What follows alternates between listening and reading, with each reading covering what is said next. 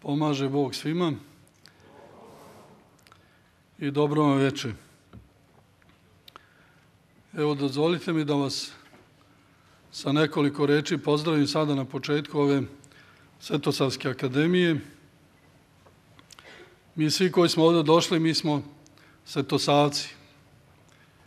I deca, i omladina, i odrasli. I dobro je da smo u likom broju došli, moramo sledeći put jednu veću salu da imamo, da možemo svi da sednemo. U svakom slučaju mi ćemo u toku ove Svetosavske nedelje imati razne proslave Svetoga Save Akademije, na prvom mestu bogosluženja i svete liturgije, dodele paketića deci, dečije predstave i mnogo toga što u stvari vezujemo za Svetoga Savu. I čitave nedelje to traje. Tako da je dobro, već smo mi imali u našem kulturnom centru eparhijskom jedan, jedan program kulturno-umečkih društava odavde iz Bijeljine i nastavit ćemo ako Bog do ovih dana. Ja treba da idem na Svetosavsku akademiju u Tuzlu i tako. O Svetom Savi možemo govoriti mnogo i govori se mnogo. Njegovo žitje sigurno u osnovi znamo svi.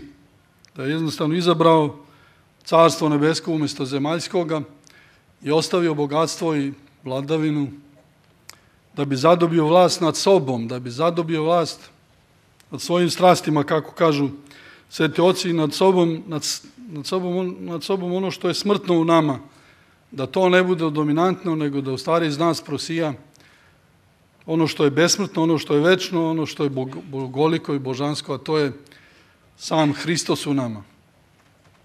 To je Sveti Sava pokazao, dakle, svojim odlaskom u Svetu Goru i slačenjem sa sebe starog čoveka i oblačenjem u novoga u Hrista. I kao takav se vratio u Srbiju i učinio je jedno divno, ogromno delo koje ni vekovi ne mogu da sruše, da zaboravimo, nego se uvek vraćamo njemu. I ono što je karakteristično za Svetog Savu, nemamo mnogo crkva posvećenih Svetom Savi, zato što svaki hram na neki način prazni Svetoga Savu. I krstnih slava nemamo puno, jer u krajnjem slučaju, pored svoje krstne slave, slavimo i Svetoga Savu. Dakle, Sveti Sava nam je, gde god se okrenemo, pravoslavni Srbi na svim kontinentima danas slave Svetoga Savu. Zašto je to bitno? Bitno je zato što nas Sveti Sava okuplja, zato što je Sveti Sava postavio temelje samostalnosti naše crkve 1219. godine, Srpske pravoslavne crkve, Pećke patrijašije, a pored toga je utvrdio i srednjovekovnu srpsku državu, dakle, osnovo je teokratiju. To je jedan prostor u kome pravoslavni Srbi treba da žive. To je taj nemanjički ideal koji je kroz čitav srednji vek dao velike plodove. Iza njih su ostajali, dakle, za te državne organizacije su ostajali manastiri, crkve, država se proširila posebno u vreme Svetog Stefana Nemanji, postala najmoćnija država na Balkanu.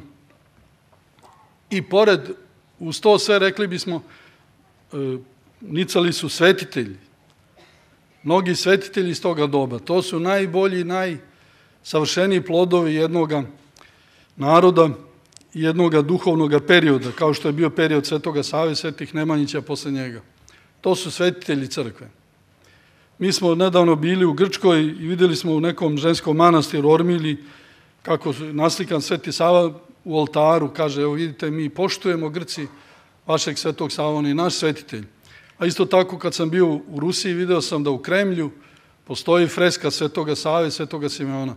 Dakle, Sveti Sava se poštuje u Rusiji, u Ruskoj pravoslavnoj crkvi. Jednostavno, njegovo delo je nešto što je, nije samo srpsko, nego je jedno sve pravoslavno, ako tako možemo reći, jer je Sveti Sava bio svetelj koji se zamonašio u Ruskom manastiru u Rusiku, pa je živeo jedno vreme u Pantelimonu i onda je posle prešao u Vatoped, grčki manastir i odatle je Sveti Simeon, kad je došao na Svetu goru, oko 1196. 7. godine, oni su onda osnovali manastir Hilandar, koji je bio jedan porušeni manastir, manastira Vatopeda, oni su to dali i vizantijski car je predao njima to na upravu da osnuju srpski manastir Hilandar. I to je do danas naš duhovni univerzitet na Svetoj gori. Nedavno smo bili u Grčkoj i vrlo blizu Grčke, vrlo blizu smo bili manastira Hilandara. Dakle, treba da svi da proslavljamo Svetoga Savu, proslavljajući Svetog Savu mi proslavljamo u stvari sebe. Sebe obožene, sebe bogolike, sebe spasene. Čovjek, dakle, može u životu da ide raznim putevima. Sveti Sava nam je pokazao put uski koji vodi u Carstvo nebesko i u večni život. Postoje razni drugi putevi koji čovjek ide i živi tim širokim putem, To nije svetosavlje. Filosofija svetosavlja je da živimo kako je živio Sveti Sava. A Sveti Sava je kao monah na Svetoj gori živio najstrožijim asketskim podvigom. Dakle, nije Sveti Sava legenda, nije Sveti Sava mit, nego Sveti Sava onaj koji je krvlju prolivenom u podvigu, postaje molitve, u suzama, u pokajanju, stekao vrlinu, stekao Hrista, zadobio Hrista. I onda je jednostavno, kao Mojsije, u starozavetnom narodu jevrejskom došao i bio vođa na duhovni našega naroda, postao prvi arhepiskop i podizao crkve i manastire i bolnice i sirotišta. Sve ono u stvari što nam je bilo potrebno i što je potrebno i danas.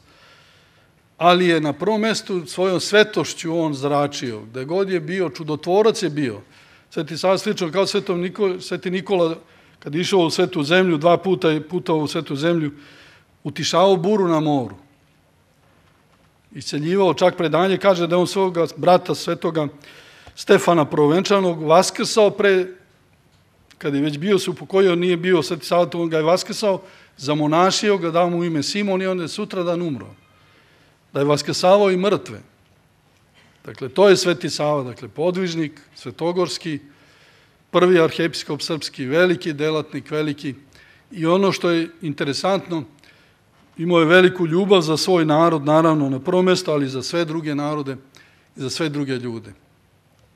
Da vas ne bi mnogo zamarao, završću ovim rečima, kada slušamo u crkvi kako deca pevaju pesmice u, svet, u čas Svetoga Save, to nekako me, to nas najviše dirne, to, time se pokrenemo mnogo, kako deca su bezazlana, toliko veliku ljubav već imaju prema Svetom Savi, kao prema svome ocu ili nekom svome duhovnom stricu koji je blizu tu njih.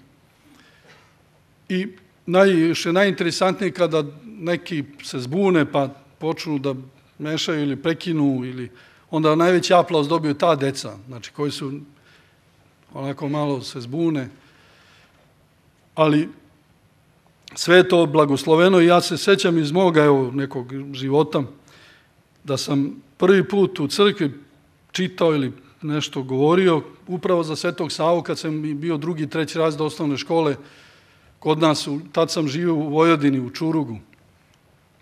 Moji roditelji su ucelili, ja sam rođen tamo od Stričića, Kočićevog kraja. I onda sam dobio ja da čitam neke, da, da ja govorim jednu pesmicu. Međutim, pošto naš sveštenik prota Milan Delić nije ovaj, imao dovoljno pesmica o Svetom Savi, podelio, podelio sve i nema sad više. Sad kaže, šta ćemo s vama, nas dvoje, troje ostalo. Pa dajte neke druge pesmice. Ja dobijem da govorim neku pesmicu Jelenče. Znači, Jelenče, kako je? Jelenče hodilo po gori da traži čistu vodu, da se napije, da... I govorili smo, dakle, neke svetovne pesme, blagočestive, ovako pri, pristojne, o Svetom Savi.